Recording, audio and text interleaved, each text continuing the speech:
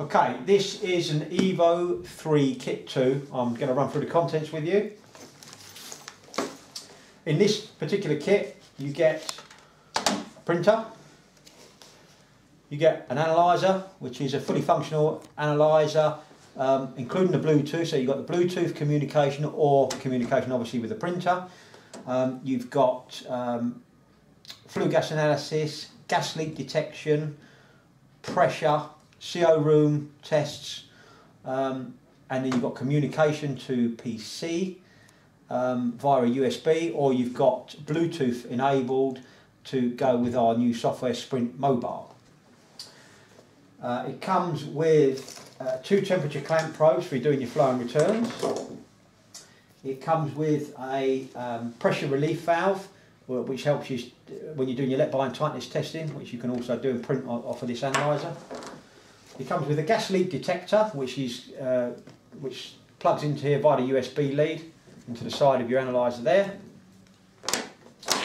You get um, a charger, which will charge both your printer and your analyzer. They're both rechargeable. Um, you get a spare filter and a pot. You get a spare paper roll plus the one that's fitted to your printer. You also get the um, Freevo which has got a moisture extraction system built in the handle to help protect against uh, uh, the problems that moisture can cause on condensing boilers. Obviously, it still has a standard filter, filtration trap. You get two standard pressure hoses, um, as well as your, your pressure relief valve here, come in there as standard. And in the top of the bag, you have um, a shoulder strap, which just clips on the side of the bag.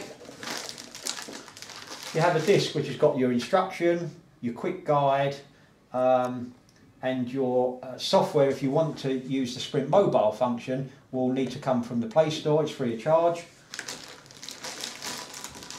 You've got two batteries, these are for the printer, so if your printer doesn't work, that, that could be why. They need to be popped in there and, and uh, charged initially for 16 hour. Um, and then you've got uh, uh, a thing, a form there is going to help you with your commissioning side of things. You've got a quality certificate for your analyzer and your certificate of calibration, um, which you need to keep somewhere safe. You've got a quick hard copy, um, quick guide there, which helps you um, quickly understand how easy it is to use the analyzer, but we do have other videos that, that can assist you with that also.